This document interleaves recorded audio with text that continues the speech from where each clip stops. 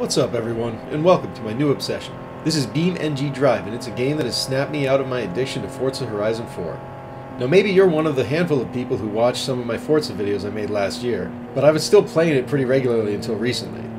Then I tried Beam. For those who don't know, Beam is a game that's been in early access forever. It's essentially a soft body physics engine that you drive around in, the reason it's replaced Forza for me is simple. The thing I love most about Forza is the ability to customize and tune all of the cars, swapping out engines and drivetrains and suspensions, and doing stupid things like giving tiny cars a thousand horsepower. But it has its limitations. For example, I couldn't, say, take an engine in an American style sedan and move it to the trunk, like in this rear engine Porsche lookalike that I'm driving. And maybe that's something I want to do. Well, now I can, with Beam and another game called Automation. So why don't we start by putting the engine from this Porsche into the trunk of an American sedan and see what happens?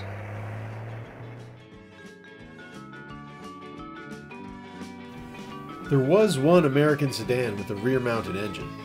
In the 1960s, Chevrolet launched the Corvair, and it quickly became a popular model.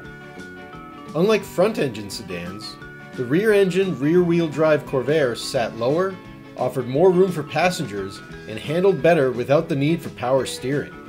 In a sense, it combined the practicality of a big American sedan with the nimble fun of a European or Japanese sports car, and that made it a huge sell.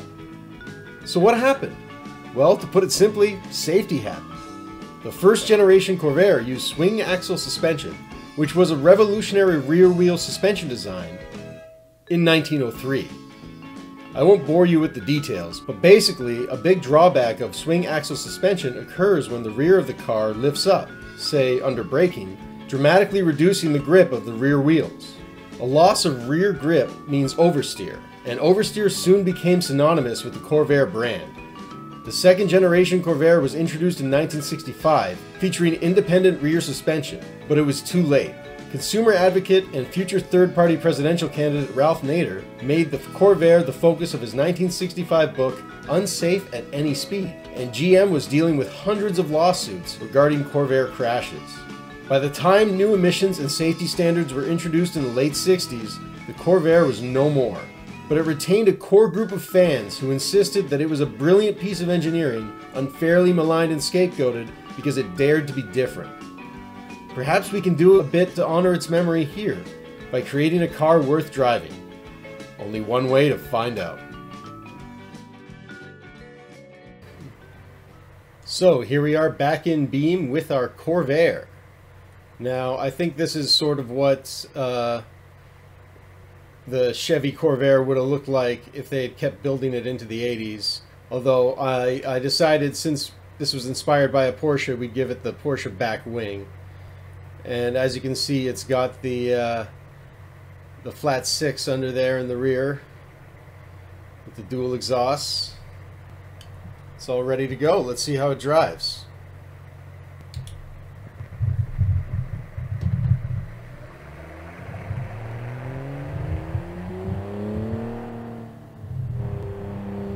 Got that uh, Porsche turbo lag.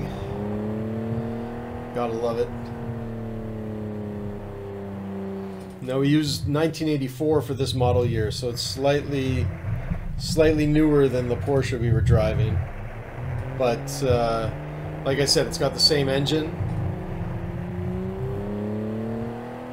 Let's, let's open it up a bit. Let's see how let's see how it handles these twisty mountain roads.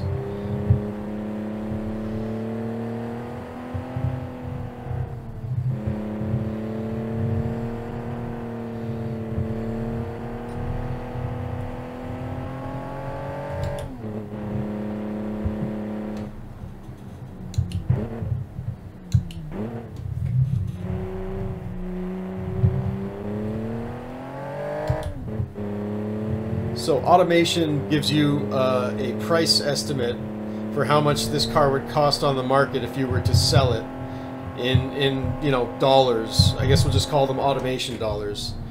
And uh, this car comes in at forty-two thousand, which is slightly more than the thirty-nine thousand of the Porsche that I made. And so the Corvair costs slightly more, but you get more interior space. And it's a slightly newer model with slightly newer safety features. So, you know, if you're, you know, if you've got a family, instead of just uh, having a midlife crisis, which, you know, if you got a midlife crisis, you buy the Porsche. If you got a family, buy the Corvair.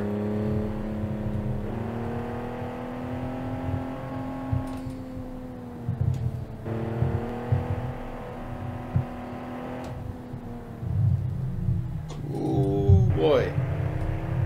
Might be getting a little too feisty. This is a very narrow road here on the edge of this mountain. But yeah, no complaints. I don't know. I don't know what Ralph Nader was was talking about. This is uh, this doesn't feel unsafe. This feels safe at most speeds. I uh, I gotta say I'm a fan. Ooh, maybe getting a little too aggressive again. it's just this car makes you want to, you know, go aggressive into the corners because it just feels like it's so responsive. But then you forget about the fact that most of the weight is at the rear. If the car was full, maybe, you know, it's a little more planted. But uh, as is, I'm not sure what the weight distribution is. Uh, we'll have to put it up on the screen right now. I'll check later on. But uh, it's very, very biased towards the rear. Makes it nice and nimble, but then it also makes it easy to lose. You can really lose that rear end. Alright, well, there we have it. The Corvair. I, I gotta say, uh, it's it's a real shame that uh, America didn't make more rear-engine cars, because uh, if this is any indication, they uh, they turn out pretty well maybe it's because I used proper suspension on this instead of like, you know, a wooden board with a nail, which is, I think, what they used for the rear suspension in the Corvair in the 60s. But uh, it's a good car to drive. Uh, it's not the, the best in the looks department, but then again, you know, retro's always in at some point. Is 80s retro in right now? Who knows? Find out next time. I'm sure I'm going to be making more videos like this.